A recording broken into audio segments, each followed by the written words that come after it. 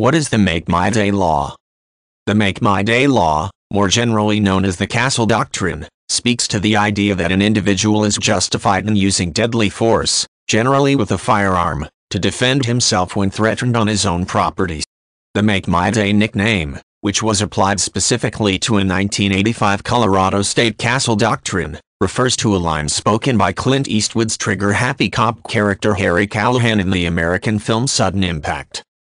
The idea behind the Make My Day law goes back hundreds of years to English common law, upon which the laws of many countries, including the United States, are based.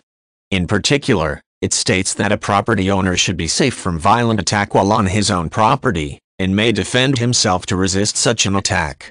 In some jurisdictions the law provides a justifiable homicide defense.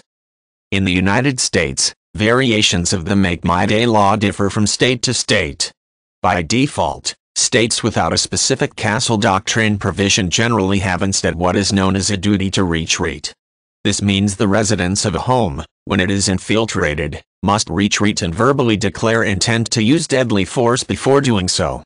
If this declaration does not happen there is no automatic legal justification.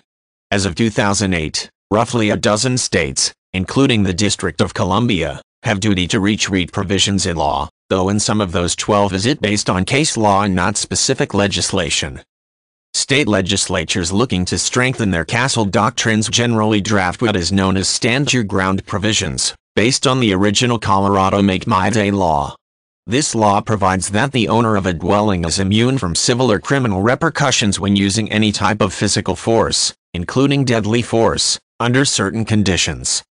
The specific conditions of the Make My Day law are that an invader has made unlawful entry onto the property, that there is a reasonable belief the invader is or intends to commit a crime on the property, and that there is a reasonable belief the invader may use physical force himself. If these conditions are satisfied the immunity applies, and no verbal warning must be issued. Though again, it varies by jurisdiction, in most cases the presumption of innocence rests with the property owner in being justified. Some states go even further and make it legal for such stand your ground laws to apply outside of one's home. Florida is one such state, where an individual may use deadly force when assailed at any location he has a right to be. As of 2010, more than 30 states in the U.S. have some degree of a stand your ground law.